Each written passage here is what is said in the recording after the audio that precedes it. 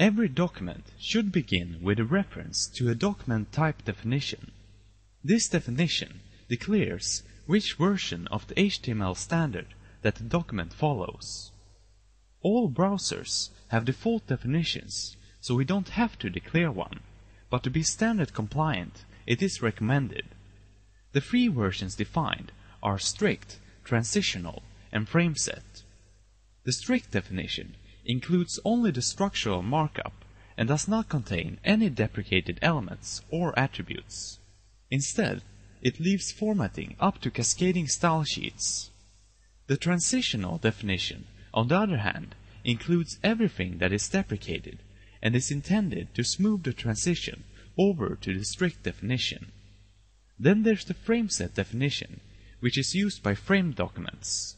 It contains the same elements as the transitional definition, except that it also includes the frameset elements. To include a definition, we add the document type definition, or doc type, to the top of the web page. We also have corresponding versions for XHTML documents. All of these templates can be found in Dreamweaver when a new document is created. Another standard that we should follow is to include metadata in the document using the meta header tag.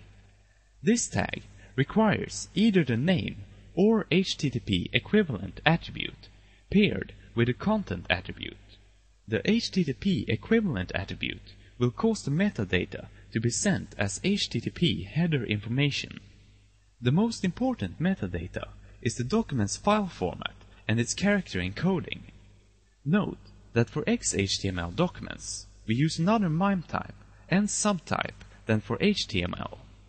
Metadata can also be used to help search engines by providing a description of the document and a list of keywords relating to the content.